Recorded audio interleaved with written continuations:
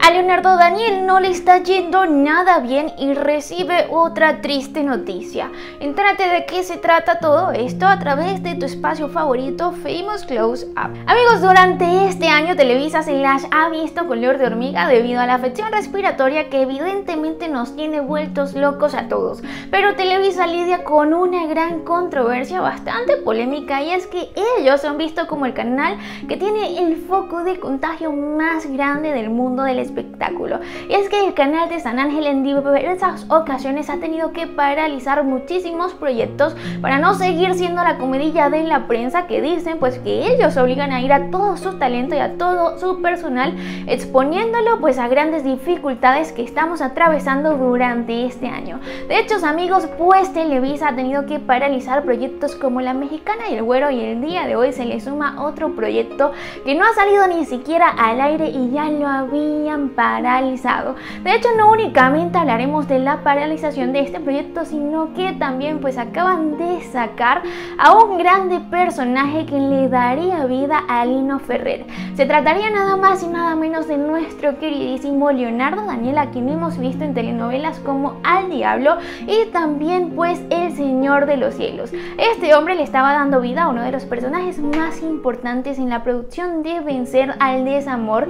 Sin embargo, pues la Lamentablemente Leonardo Daniel salió positivo a la afección respiratoria hace algunos meses y pues la intensidad que él tenía dentro de esta enfermedad era bastante grave al punto pues que se corrió el comentario de que Leonardo Daniel pues estaba siendo internado, incluso intubado porque él ya no podía respirar por cuenta propia. La cosa fue a tal magnitud pues que su hijo Patricio tuvo que hacer una aparición en las redes sociales para explicarle a todos los fanáticos que esto realmente era falso, que su padre se había estado enfermo, pero que gracias a Dios él no había pasado a mayores. Hubo un tiempo que sí estuvo en terapia intensiva, pero se fue recuperando rápidamente, incluso lo bajaron rápidamente también a terapia intermedia. Sin embargo, pues a pesar de todo esto que el pobre Leonardo Daniel está enfrentando, actualmente le tocaría enfrentar una nueva noticia y es eso que les acabo de decir, pues que básicamente lo acaban de sacar de la telenovela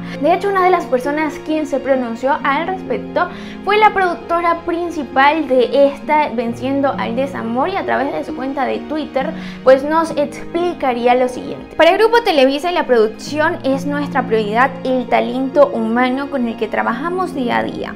Por esta razón estamos comprometidos en salvaguardar la salud de nuestro primer actor Leonardo Daniel y no arriesgar bajo ninguna circunstancia su recuperación que ha sido favorable. De hecho, Amores pues venciendo al desamor fue paralizada hace algunos meses debido a que Leonardo Daniel no fue la única persona quien salió contagiada de esta enfermedad dentro de la producción, sino habían más de tres personas. Actualmente pues Televisa no puede seguir perdiendo dinero y lo que hicieron fue reemplazar al pobre Leonardo Daniel y lo comunicaron también a través de su cuenta de Twitter y la nueva persona quien le estaría dando a Lino Ferrer sería, sería Marco Treviño, un grandísimo actor también, que por supuesto se destacará haciendo una labor totalmente extraordinaria.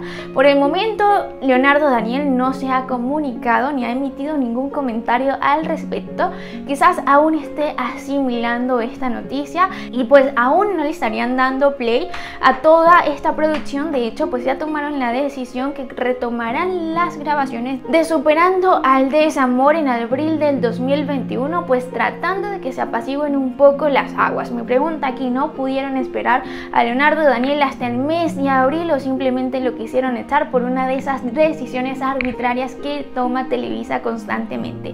Me encantaría saber tu opinión aquí en los comentarios y por supuesto nos vemos en una próxima oportunidad de Famous Close.